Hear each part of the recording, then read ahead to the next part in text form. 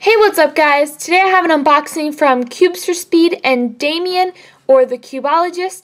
As you can see, this is a thin package, so it clearly will not be a cube of any sort. This is actually their new line of stickers, and Damien told me he sent quite a few different sets, so I'm excited to check out the shades.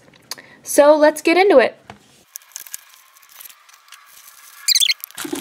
Alright, so as you can see, there is quite a few sets in here. I believe he sent me pretty much all of the ones that are currently on the site, so I'm very interested to see all of these.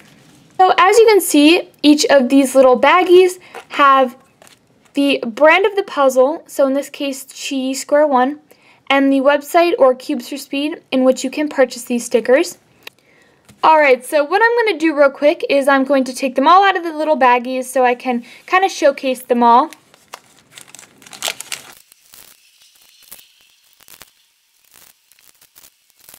So, as you can see, these are all of the stickers that I got in the package, and I believe they are all of the ones that they are currently selling on Cubes for Speed. So we have the Chi Square One, QiYi Thunderclap, Moyu Pyraminx, Dayan 2x2, Guo Guoguan Yuexiao, Moyu Tangpo, and then right here I have the Gans 356 stickers.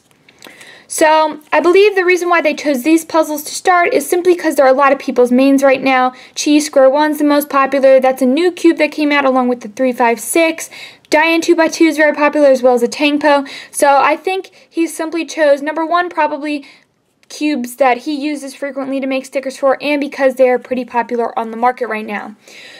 So if you're curious about the price of these stickers, they are all $2 except for the Moyu Pyraminx stickers, which are only $1.75. So very affordable prices.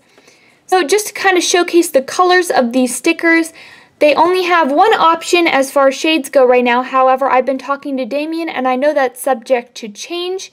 However, the colors he has chosen here are pretty decent. So we have fluorescent yellow, fluorescent green, sky blue, red, fluorescent orange, and then obviously white. So these are the six shades that all of the cube stickers come in right now. Again, like I said, they are going to probably add additional shades. However, these are the ones that they have offered right now. I personally think they look really nice, a lot of contrast, and they seem to be a pretty thick vinyl. I will get more specific details about that when I make my review. However, I definitely say they look very high quality. Quick look at my GANS 356, which clearly needs new stickers. You can see that they are cut for the shape of the pieces, and that applies to all of the puzzles. The square one, they have the top faces, or the ones with the slices, as white and yellow. And then the Sides are the other four colors, obviously.